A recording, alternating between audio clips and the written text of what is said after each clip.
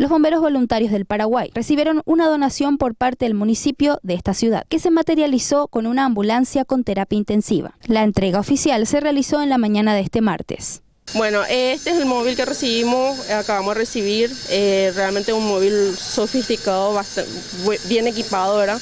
Eh, le falta algunos que otros accesorios que ya estamos solicitando, gracias a la municipalidad que nos ayudó con un aporte, más bien el aporte es de 50 millones, el móvil costó 30 millones, es lo que sería gasto de traslado y flete, y los restantes 20 millones se están invirtiendo en lo que sería pintura, como ya ven, y el ploteado. Detrás de eso lo que serían los equipamientos que le estaría faltando, así como eh, balones de oxígeno y capacitación al personal para el uso adecuado y correcto de los equipos con que cuenta la ambulancia. Esta es la segunda ambulancia que tendrá encarnación con sistema de terapia intensiva para traslado. Así mismo.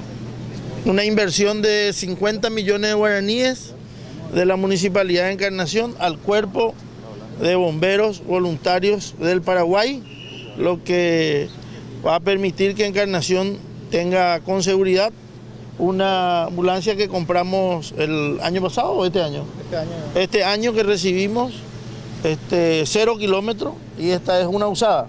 Es una usada proveniente de Japón. Proveniente de Japón. Es la segunda ambulancia en la región en contar con terapia intensiva. La primera fue para el Hospital Pediátrico Municipal y ahora destinada al Cuerpo de Bomberos Voluntarios del Paraguay.